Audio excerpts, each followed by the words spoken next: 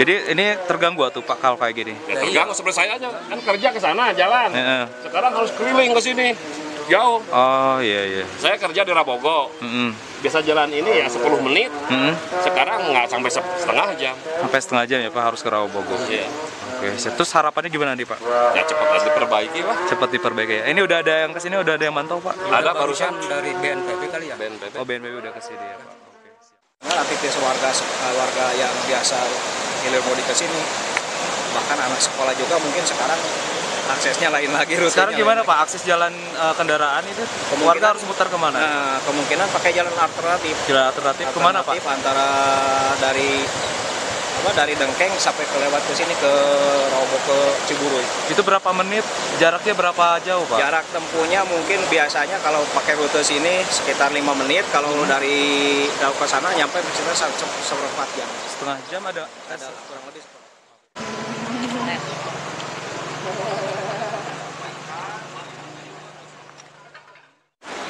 Kagaknya,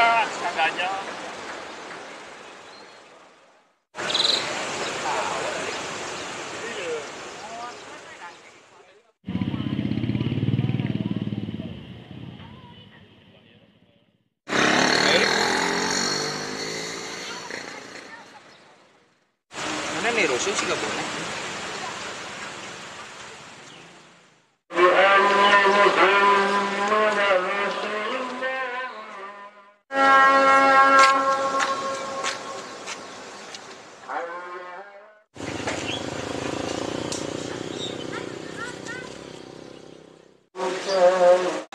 itu sekitar 500-an Pak ke 500. 400 sampai 500 lalu dengan bangunan pelengkapnya ya punya sayap dengan awning Itu sejak tahun berapa Pak jembatan itu Pak? nah saya sendiri belum tahu itu kan Itu jembatan tahun berapa. lama apa? jembatan lama Pak Oh udah lama. jembatan Itu lama karena itu. apa Pak? Konstruksinya emang sudah. emang udah cukup lama kita kelihatannya itu kena scoring komitmennya oleh air Pak dia ada air deras masuk ke bagian bawah beberapa tahun yang lalu saya lihat kalau nggak salah itu udah pernah ada diselimuti beton kelihatannya masih nggak tahan juga Oh sudah ada perbaikan sebelumnya.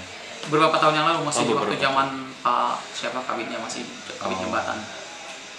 Oh Jadi memang itu harus udah direhab total. Emang harus direhab total ya.